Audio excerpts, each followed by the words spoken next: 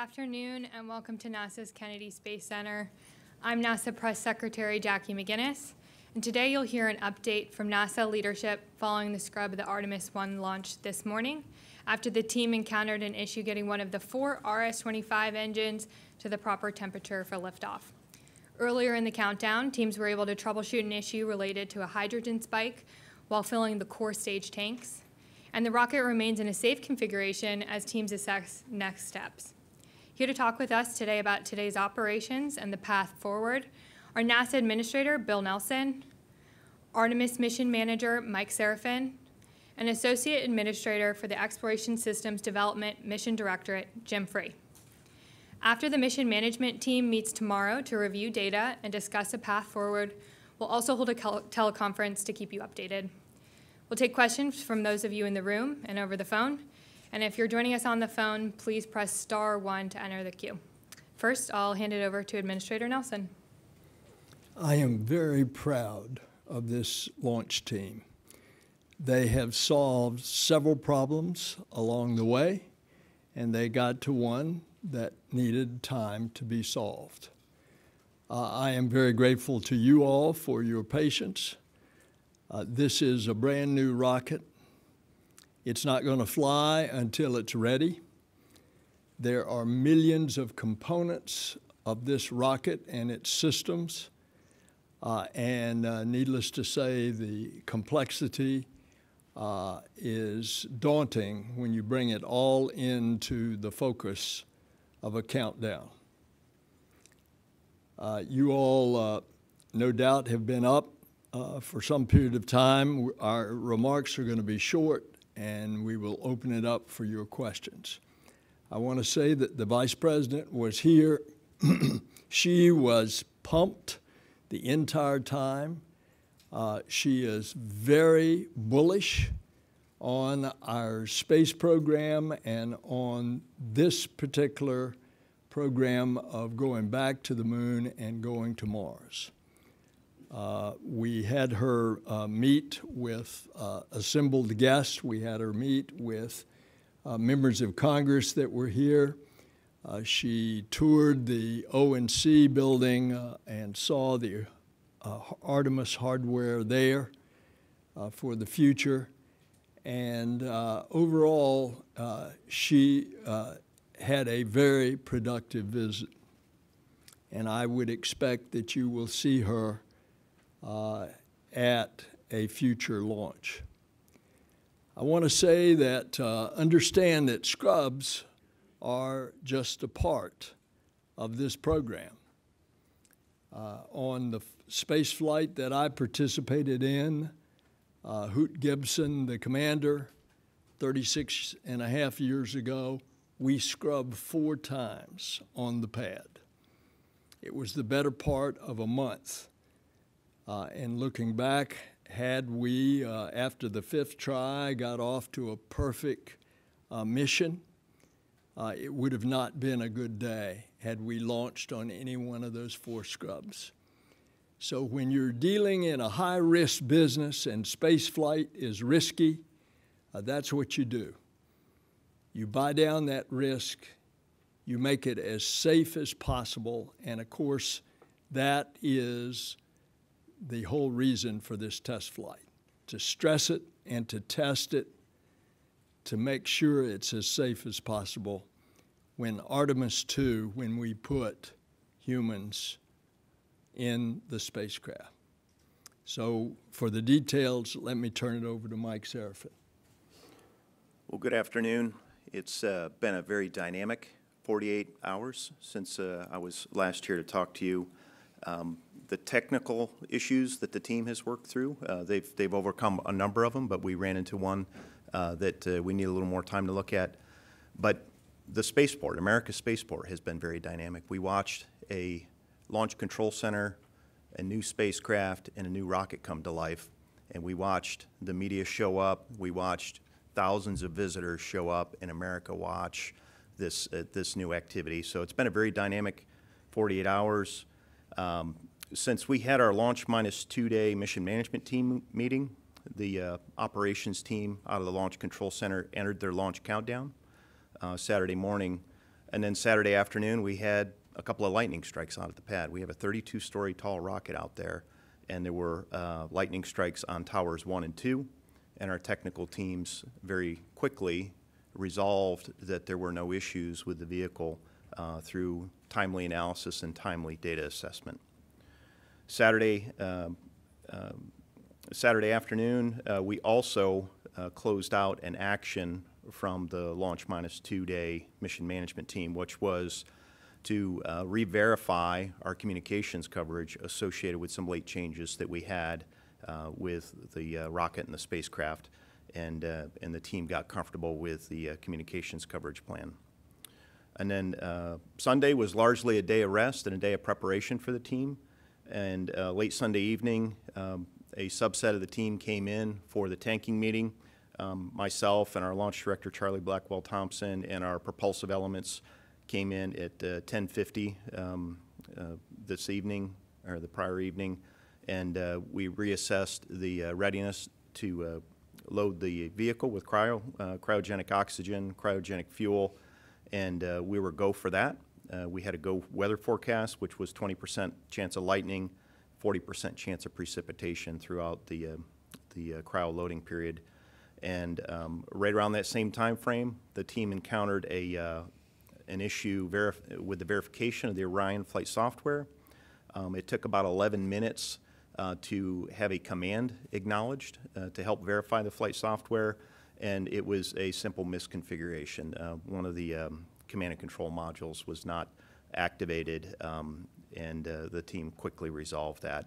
Um, And then once they configured it, uh, they quickly worked through the, um, through the uh, software verification, and there were no concerns at that point with the Orion uh, software verification.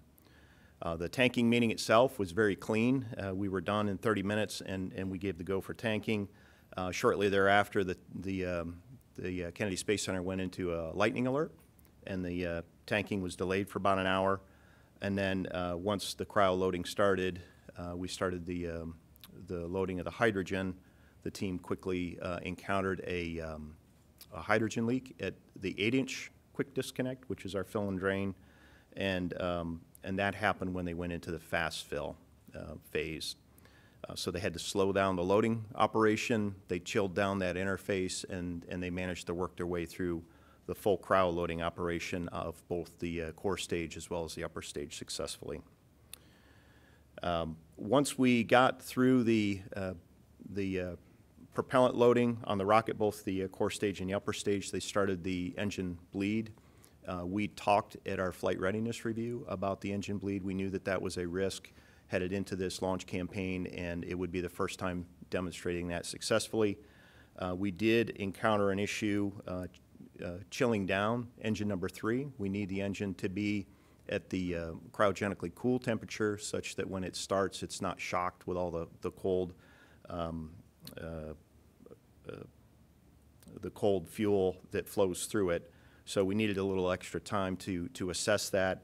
Um, When the team uh, started working through that, they also saw an issue with a uh, vent valve um, at the intertank. So the combination of not being able to uh, get the uh, engine three chilled down and then the uh, vent valve uh, issue that they saw at the intertank really caused us to pause today, and, and we felt like we needed a little, little more time.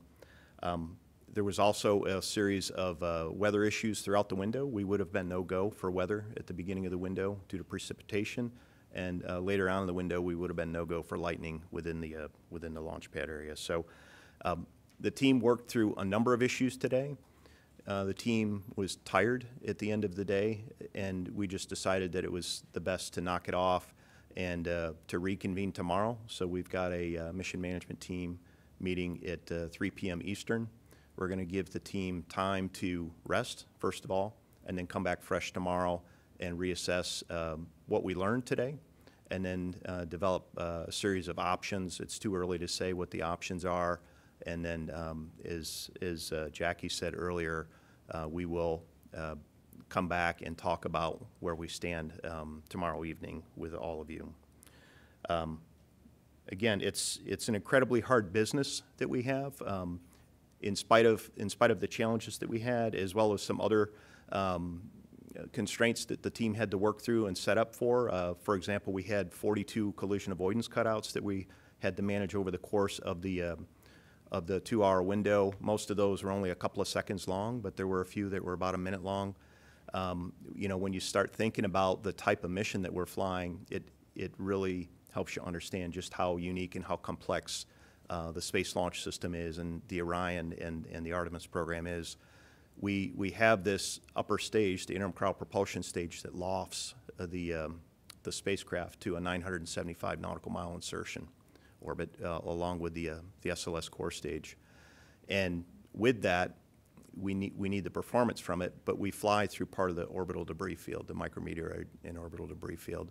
And then, uh, one orbit later, we commit to the point of translunar injection. So as we fly up through this orbital debris and then back down to low Earth orbit and then out through the point of translunar injection, we have to know where all these objects are, and that explains those 42 cutouts. And, and that is something that our operations teams were prepared to do today. We just didn't get to the launch window. So um, a number of challenges. Uh, we were ready for some of them, and, and the uh, technical challenges we encountered on the, um, on the engine bleed and the vent valve are just some things we're going to have to go look at today, uh, look at tomorrow after we get a little smarter and get, get rested. So um, with that, I'll pass it to Jim. Yeah, so good afternoon. So the administrator and Mike uh, covered, covered a great deal of things. I'll just highlight a few things for me. You know, I sit in a different vantage point uh, than, than Mike does. Uh, His is a lot more fun, by the way.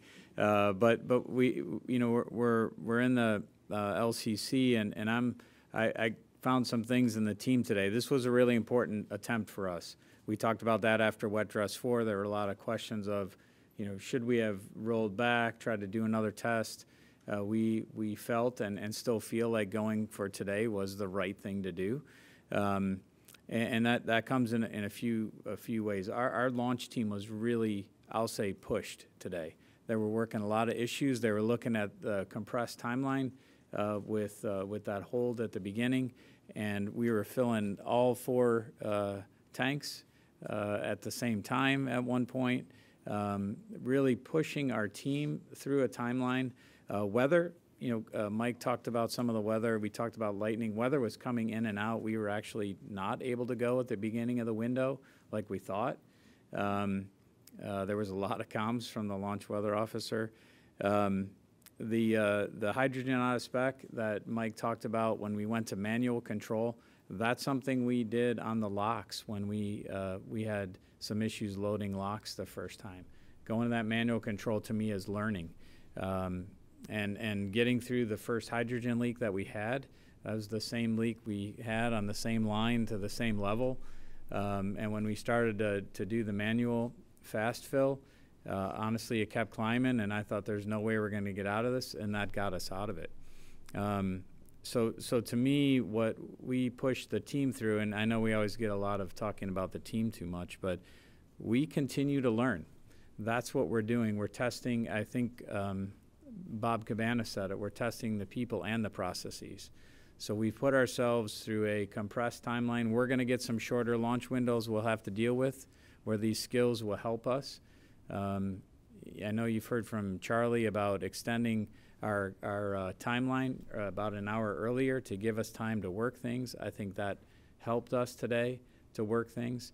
Um, and frankly, engine three that Mike talked about, we definitely didn't get down to the temperature we wanted, but the other four weren't as low as we would like to. So, so there's some things going on that um, the teams were, the team needs to go off and look at the data and understand how this is different from what we did during the green run at, at Stennis, um, and then figure out a path forward, which is ultimately where we want to go. We're not going to have all the data and the implications today. I'll reiterate that, what, what Mike said. Um, but we, we felt we owed it to you to, to share everything that, uh, that we know. So, um, and I can assure you, there was no other group of folks, not just the folks that worked last night, um, but the folks that started this countdown. There's no other group that wanted to get through this successfully than than that those people. Um, so with that, I'll turn it back to Jackie and. Thanks, Jim. Uh, Just a reminder for folks joining us on the phone, you can press star one to get into the queue. Uh, But first, we'll take some questions from the room. Uh, Marcia Dunn, AP. Marcia Dunn, Associated Press, probably for you, Mike, um, it- oh, or Jim. Is there, is Friday or Monday even feasible since you're dealing with an engine? And um, might you need to replace this engine? Could this be a problem unique to this? But I guess not, since you said that you didn't get the temperatures on any of them that you were looking for. I'm just wondering what could be the worst case here? Yeah, Mike, go ahead. I'll, Okay. I'll add on. Uh, Yeah, Friday is definitely in play. Um, We just need a little bit of time to look at the data, but the team is setting up for, for a 90, 96-hour recycle. So they're still holding in the launch countdown configuration, and we're preserving the option for Friday. They're replenishing the commodities out at the, um, out at Launch Complex 39B. You'll see some of those activities tomorrow. And uh, right now, the indications don't point to an engine problem. It's, it's in the, the uh, bleed system, the thermally, that thermally conditions the engines. Um, We did change the um, diameter of that from Stennis, uh, where we did the green run testing, to here. And uh, we never uh, fully got into the engine bleed uh, configuration uh, through the prior wet dress attempts. And, and again, that was something that we talked about at the agency flight readiness review as a, as a known risk to our launch campaign. And, and at that time, we said we would not launch unless we, um, uh, we got through the uh, demonstration of our ability to thermally condition the engines.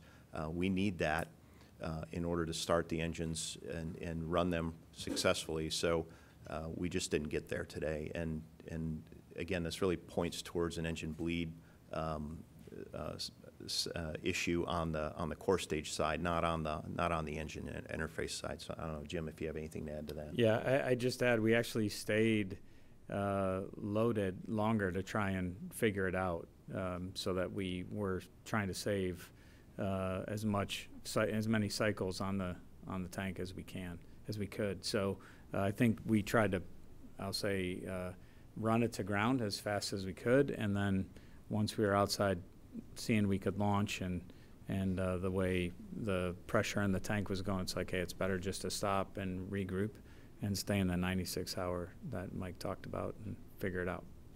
Did you make the diameter bigger Or smaller when you made the change? bef- uh, in- So you did make it bigger? Yes.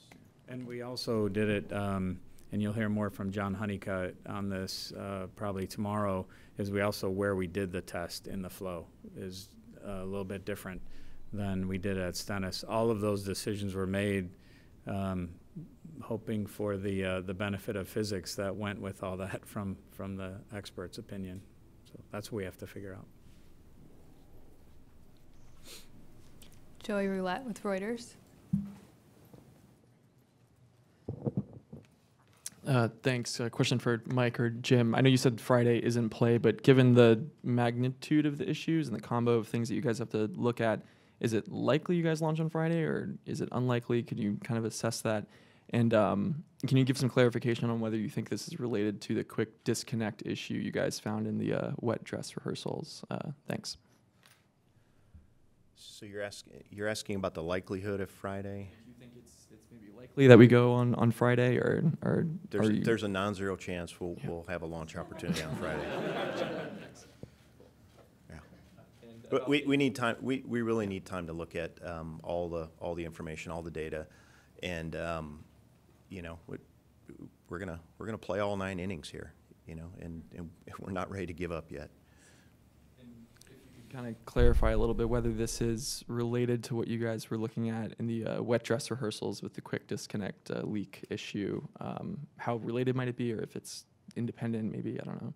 I would say, and again, this is probably a, a question that's better answered by John Honeycutt, but, you know, during the wet dress rehearsal, we saw issues at both the four-inch and the eight-inch QD in terms of our ability to retain enough um, pressure to, to properly seal those such that we didn't have a hydrogen leak. And, and we never got to the engine bleed itself uh, during the wet dress. We knew that. Um, so the QD problems that we saw during wet dress have, have largely been mitigated. Uh, and, and in fact, the, the eight inch today, um, was, was the issue, uh, that we had a little bit of leakage on that they managed to work their way through by, uh, slowing the fill and chilling it down. And then that, properly sealed it, and we got a full load. We, we weren't able to get a full load in our, in our first three wet dress attempts.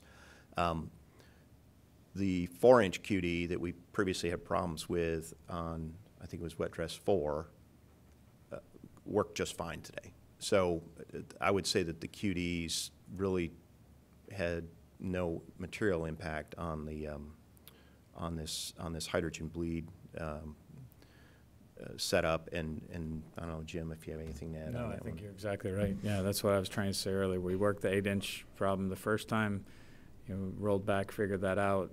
Four-inch, we couldn't pressurize because that was leaking. Today, we did that, so yeah, I think we're in good shape.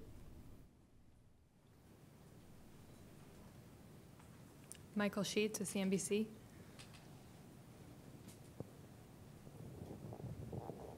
Michael Sheetz of CNBC. My question is for Mike. I'm curious to get a little more learnings on the other side of things, which is the possibility of a rollback. Um, given the data that you've seen so far, how likely does that seem? And if you were to roll it back to the pad, where does that reset the timeline in terms of you, your guys' next launch opportunity?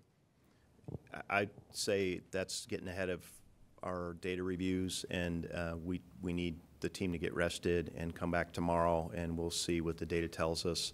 Um, I'll, I'll recycle a line from earlier, there's a non-zero chance, but um, we're going to do our best to um, see, see where the data leads us, and, and if we can resolve this operationally out at the pad, there won't be any need for that. And, and if we can resolve this operationally out at the pad in the next 48 hours, 72 hours, Friday is definitely in play. So uh, we just need to see, we need to see what the art of the possible is. We need the team to digest what, um, what we've learned, and, and we'll take it from there.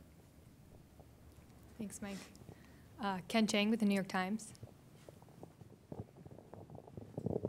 Yeah, hi. Um, this is for Mr. Sarafin. I was wondering if you could give us a quick primer about how the hydrogen bleed system works. Sounds like it's the plumbing from the hydrogen tank to the engines.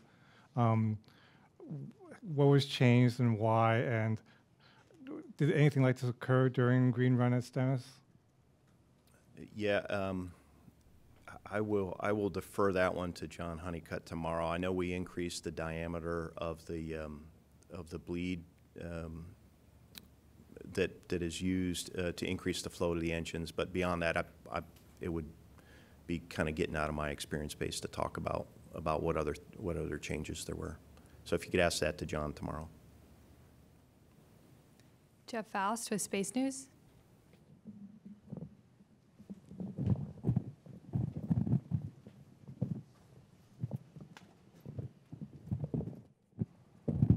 Jeff Foust of Space News. For uh, Mike Sarafin, you also mentioned an intertank uh, vent valve issue. I wonder if you could provide some more details about exactly what that issue is, and if you hadn't had the problem with the uh, engine bleed on engine three, um, would that have been a constraint to launch alone?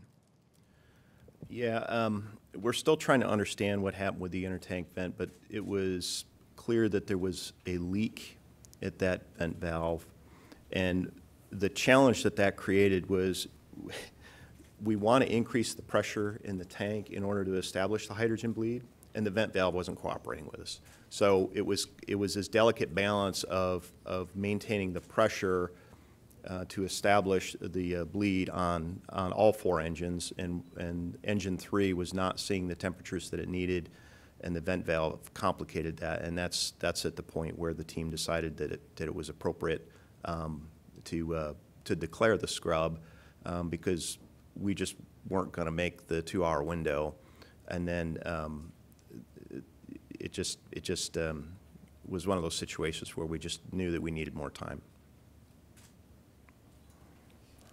Thanks, Mike. They're keeping you busy. Kristen Fisher with CNN. It's actually Rachel. Crane. Oh, I'm so sorry. We look a lot I'm so sorry. Rachel Crane with CNN. Um, uh, Mike, you mentioned earlier that you didn't see temperatures for all four engines that you were anticipating. We just heard a lot about engine three. Can you tell us a little bit about uh, the temperatures you were seeing with the other engines and what the issue was?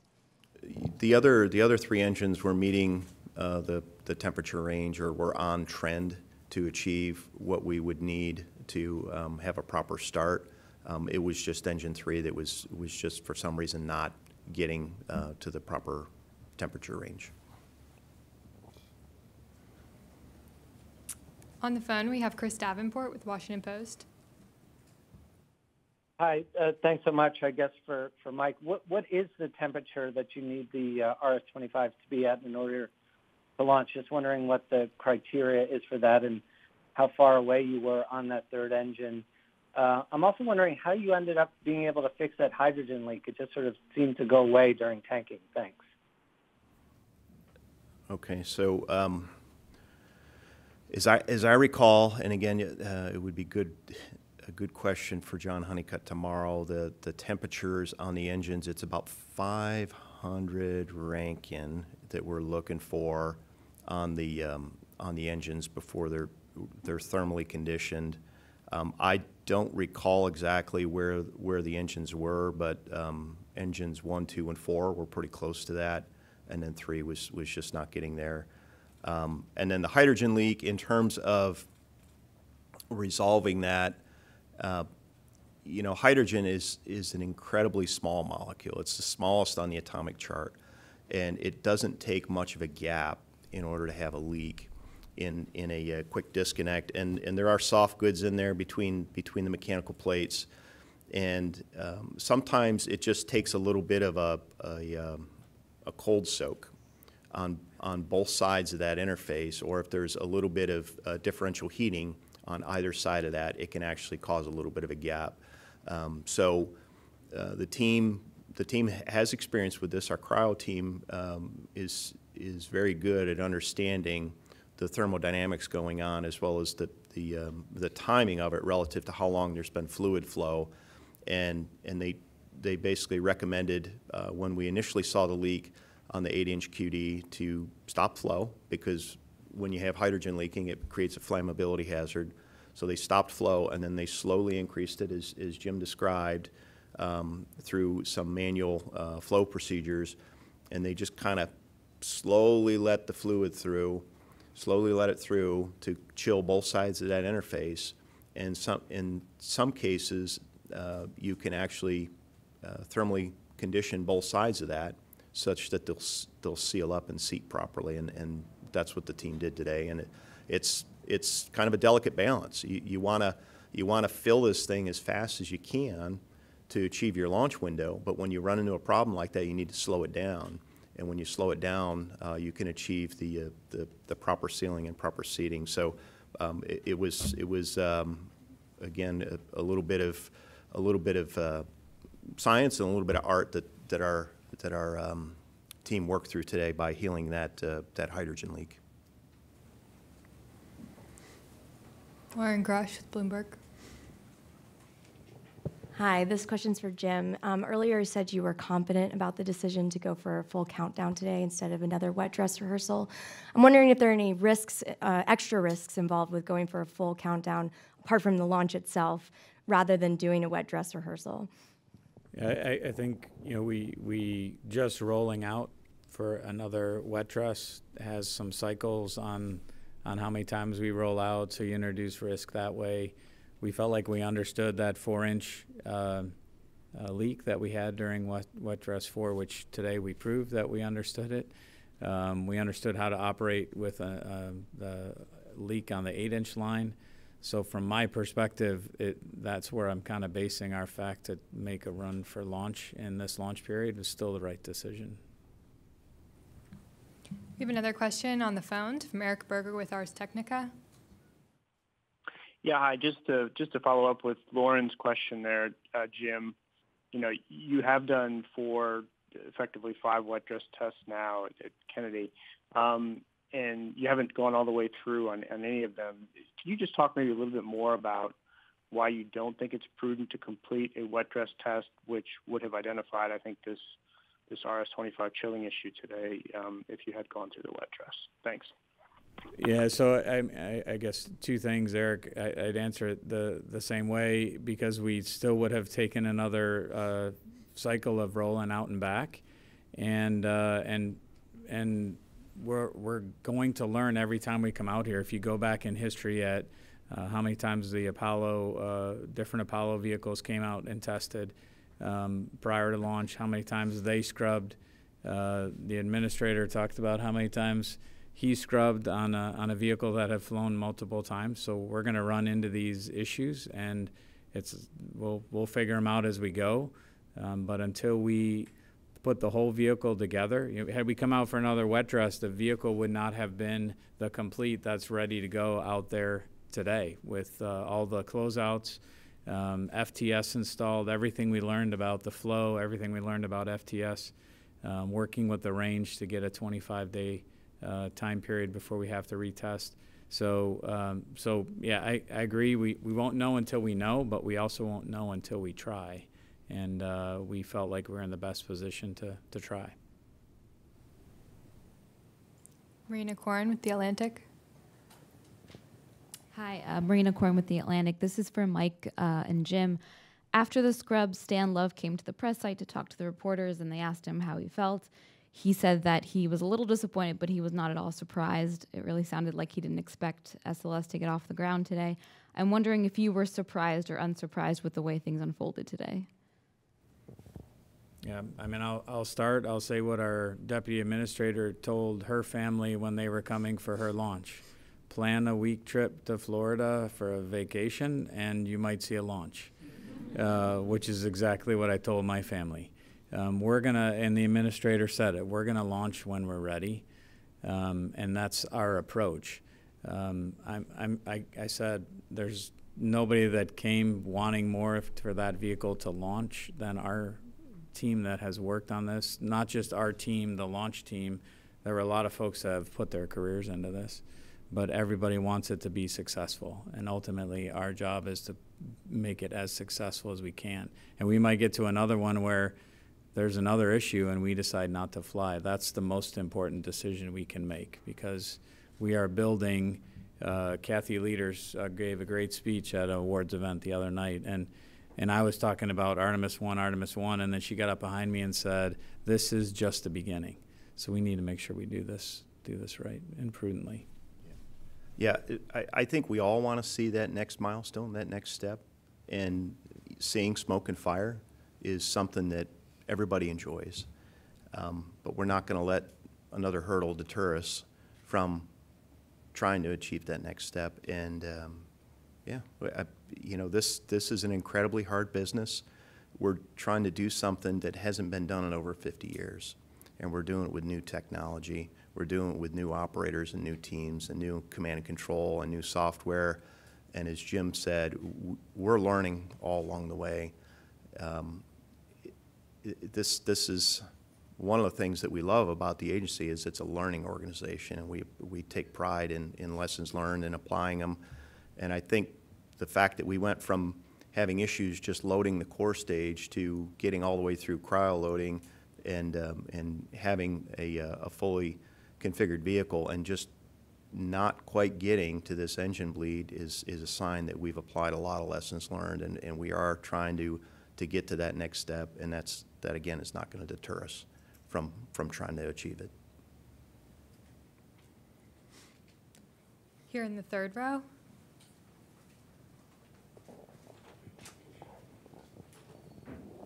Uh, Hi there, uh, Tim Fernholz from Quartz. I was curious, we heard on the commentary that the flight controllers came up with a couple plans to try and fix the engine issue during that hold. Can you tell us what was tried and maybe give us uh, some insight into the scene in the control room when those decisions were being made? Yeah, I'll, um, I'll take a crack at that.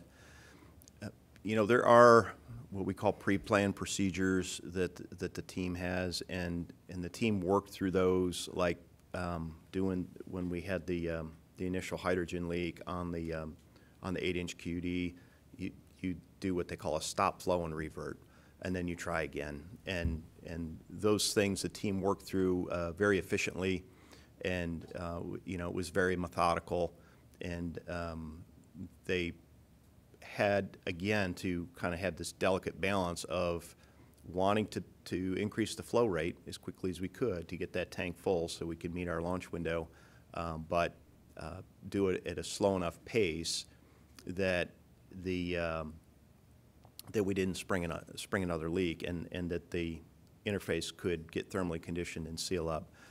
And they worked through it very methodically. And uh, when we ran into the, um, the um, engine bleed condition, you know, they, they noted it. They, they worked through the fact that uh, three of the four engines looked pretty good in terms of the thermal conditioning, and this uh, engine three was the outlier. Uh, they tried a couple of steps. They consulted with the engineering teams uh, that that provide technical support from the from the design center. In this in this case, it's uh, Boeing and Aerojet Rocketdyne are the are the uh, technical experts, whether it's on the on the core stage or the um, or the liquid engine side, and they work together very efficiently as a team. Uh, there was uh, quite a bit of chatter when we got outside of the pre-planned contingency, and then they brought back a, a strategy on how to reestablish the uh, the engine bleed, and and we just weren't successful when we ran into this uh, intertank vent valve issue um, that that complicated our ability to maintain pressure there, and it was at that point that um, the team just focused solely on managing the pressure of the tank because you're preserving the flight hardware within its design limits, and then um, once once they did that, it, we decided that it was time to knock it off.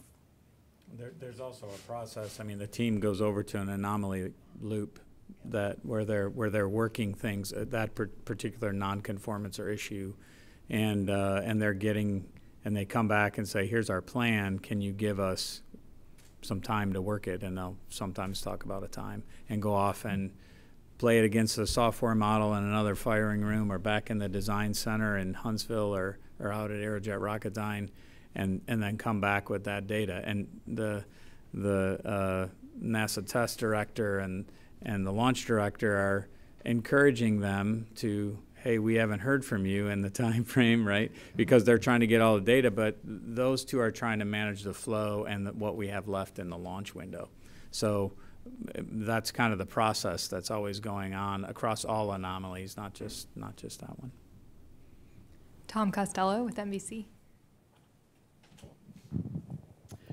Hi, good afternoon. Uh, I, you all are probably exhausted, so thank you for taking time to talk to us and talk through all of this.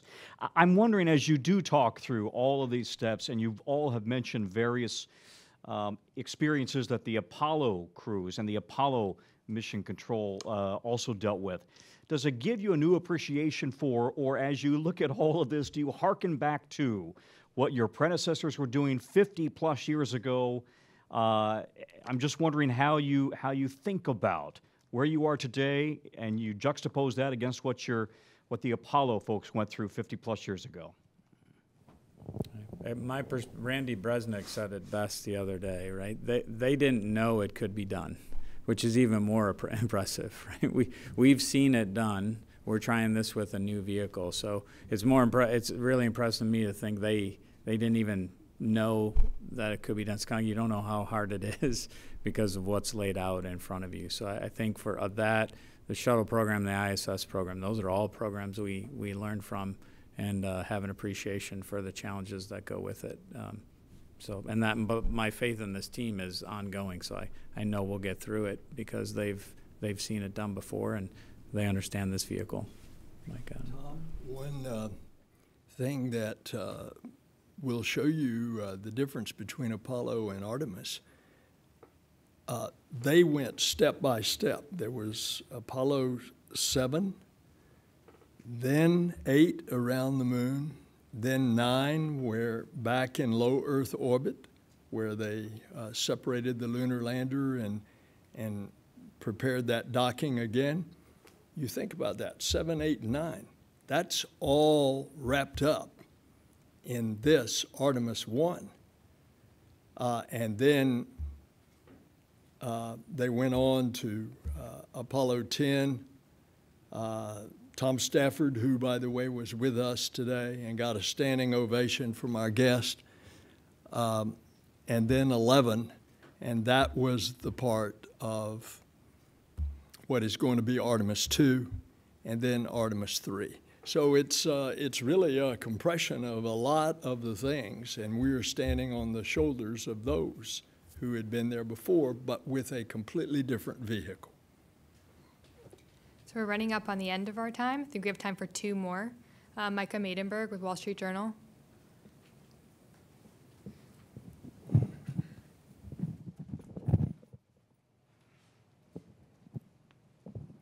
Thank you. Uh, Mike Maidenberg, Wall Street Journal. Hey, Mike, you talked about the issue being on the core side and not on the, the engine interface side. Could you kind of elaborate on that? And have you had any conversations or anybody on your team had any conversations initially with the folks at Boeing, just given their role on the, uh, the core side? Well, we, we certainly did discuss whether or not um, there was an engine problem. Um, And, and Marcia's question earlier was, was kind of alluding to, do we need to remove and replace an engine? And, and there's no indication that, that we're in that type of scenario at this point. Um, Boeing is a part of our engineering team that is in the Launch Control Center. Boeing is on the mission management team, and uh, they're integral to the overall operation. And uh, we did tap their expertise, and, and we have uh, a whole host of technical experts. Um, aside from Boeing, our uh, NASA Engineering and Safety Center, um, some of the tech fellows are involved from, from uh, that organization, as well as our, our NASA chief engineers from, from the Marshall Space Flight Center, folks like Dr. John Blevins and a number of other folks, um, all uh, weighed in and, and helped troubleshoot the issue today alongside our Boeing and Aerojet Rocketdyne partners. And um, that's, you know, that's kind of where we got to today was at the end of a long day. We ran into not one issue, but kind of a, a compounding issue um, between the, uh, the bleed and the vent valve uh, that we, that we just, again, decided that we, it was appropriate to knock it off, um, given the configuration that we're in. So, um, yeah, that's kind of where we got to. One last question. Irene Klotz with Aviation Week. Thanks. This is kind of a physics question. Is there something about the position of the main engine three that is um, makes it susceptible to uh, to this kind of situation, or could this have randomly occurred at one of the other engine positions? Only because I talked with Honeycutt, he brought this up. Uh, he asked his team to go off and, and look at that. And I, I think that's a, that's, he'll probably bring that answer back to you tomorrow. He, he didn't anticipate there was, but they're not leaving anything, uh, off the table. So, Thanks. That's all we have time for today. As I mentioned, after the mission management team meets tomorrow to review the data and steps forward, we'll hold a teleconference in the evening. Uh, so thank you for joining us and tune in to NASA TV for continuing coverage of NASA's Artemis 1 mission.